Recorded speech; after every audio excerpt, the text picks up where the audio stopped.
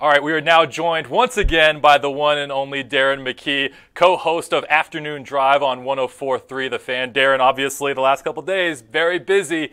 Today, a press conference with the owners. What is your main takeaway of today's press conference? Well, I thought uh, the way they operated and, and the way they did things maybe portends to the way things will be in the future efficiency, effective efficiency each person in the ownership group spoke for less than two minutes, and it was Greg Penner that a- answered the questions.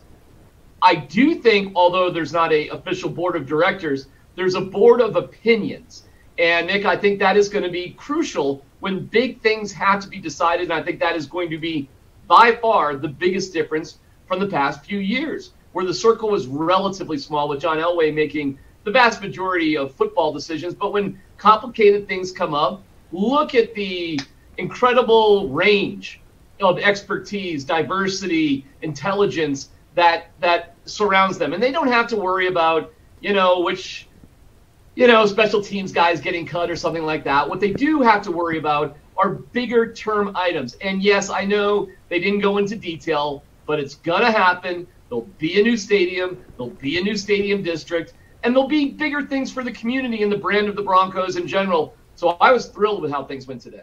I think one of the quotes that I liked more the most was when Penner said that they're not going to be making plays or drafting. They're going to leave that to George Paton and head coach Nathaniel Hackett. But there are things that we've seen that great owners do that puts the team in position to win and win championships. So, what do you think those things that this ownership can do to help the orange and blue win games and ultimately hoist a Super Bowl trophy? Well, they said it. They're going to name a president um, in their football operations, but I think that president is going to be that link between business and football. I think the philosophical football end of things will be handled by George Paton, and that person that will link the business side to the football side. My guy is, is Patrick Smyth, who's the director of communication and has been there for a long time. I think he would be absolutely perfect in that role. But then again, listen, this is a big family, big family organization. Um, they do this. This is what they do. This is their expertise. But that president of football has to know the business side and does have to know the football side. And to me, that guy is uh, Patrick Smyth.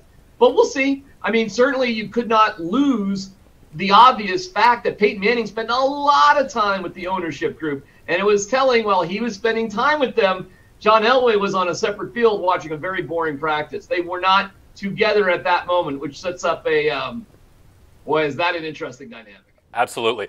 Sir Lewis Hamilton was not here today, but if he was, and you looked at the table of individuals, I mean, the resume of all of those people at the table is absolutely spectacular. And I think all of their stories are very interesting. So I'm going to ask you if you had to pick one for a 30 minute exclusive one on one conversation, who at that table are you choosing?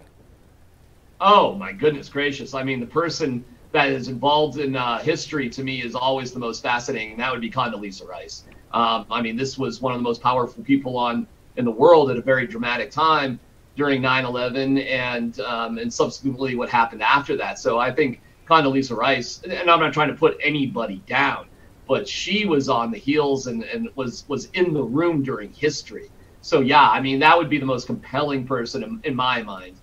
Uh, but but everybody, Mellody Hobson, and uh, what an incredible communicator and businesswoman she is. Um, you know, and Greg and Carrie Penner, I went to Syracuse at the same time they went to Georgetown. We might have problems, but we could talk Big East basketball when it matters. Uh, before I let you go, I got to ask you the last couple days, obviously, the story and everything that we've talked about is ownership, sale finally going through. But tomorrow, for the football side of things, a very important joint practice, especially with head coach Nathaniel Hackett saying today it's very unlikely we'll see Russell Wilson on Saturday. What are your expectations for tomorrow, and what do you want to see from the Broncos? Well, you need to see energy. And I did ask Hackett about it earlier today because, and I know he wasn't here a couple years ago, but when the Niners were here, boy, did they come out flat. They rebounded better in the second day, but they've got to come out with energy, excitement, enthusiasm, and focus. And that's what Hackett has been frustrated with when the, there was a day off and the offense came back. Was kind of sticky one time, was better the next time. But there's a lot of debate whether this is really happening for the offense. I don't think anybody's worried about the Broncos defense right now. Everything is about can things click with Russell Wilson. And I don't think we're going to see Russell Wilson in preseason any meaningful time whatsoever. The best that we'll probably be able to see Russell Wilson in the offense, seriously, until week one in Seattle, is tomorrow against the Cowboys. I think it's that big of a deal. All right, I'll give you a big hug tomorrow when I see you, all right? I love hugs. Who doesn't love?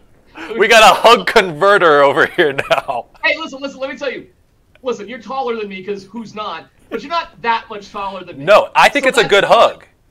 That, no, that's that's that's that's fine. I'm, I'm not going to decline the hug from somebody of similar height. But but if, if, if you're over six one, just stay away. That's how I feel about Arn Anderson. Every single time I see him, I'm just oh, like, oh yeah. I don't want to do. TV with you. You make me look short. You make me look bad. He's got that full head of hair. I'm already receding. Yeah, we'll just leave Arn Anderson off in the corner with the good-looking guys.